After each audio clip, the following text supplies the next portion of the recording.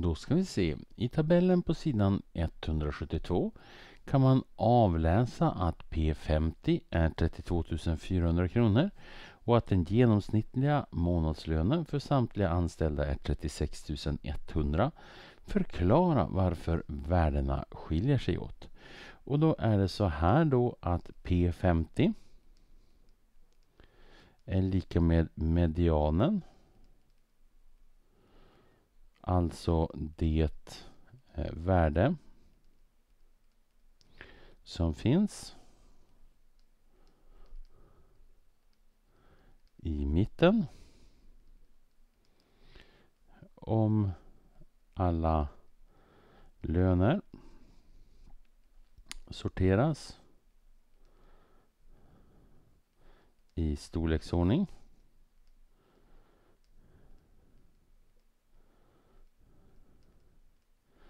Från minsta lön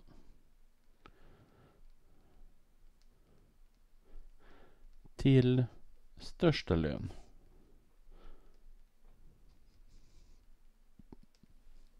Och genomsnittlig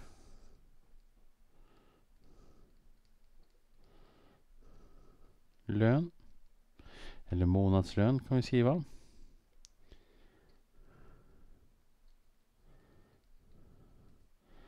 Är medelvärdet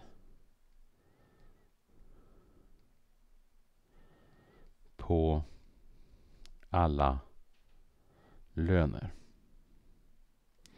Så P50, det vill säga medianen. P50 är lika med 32 400 och medelvärdet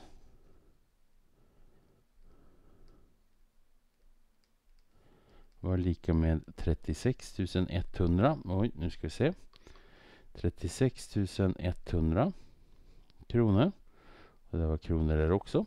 Och då kan vi rita upp en tallinje där vi markerar medianlönen här P50 som var 32 400. Så det finns 50 procent av alla löner finns där och 50 procent av alla löner finns där. Och då är det så här, om medelvärdet ligger ovanför medianen så betyder det att de här äh, olika lönerna inte är symmetriskt fördelade på samma sätt på vänster och på höger sida. Och då är det så att det finns fler om medelvärdet är 36 100 och medianen är 32 400 så finns det många löner här borta som är relativt som är relativt höga där. Och det kan också vara att eh, de här lönerna eh, ligger här borta. Så vi har att eh, vi skriver så här ska se byte. Jag skriver att medianens värde är lägre än medelvärdet om eh, mätpunkterna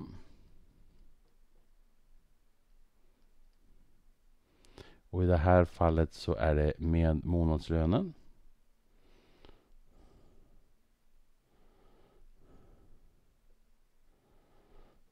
Inte är symmetriskt eh, fördelade kring medianen. I vårt fall kan de lägre lönerna eh, vara förskjutna mot P50, alltså medianen. Eh, det högre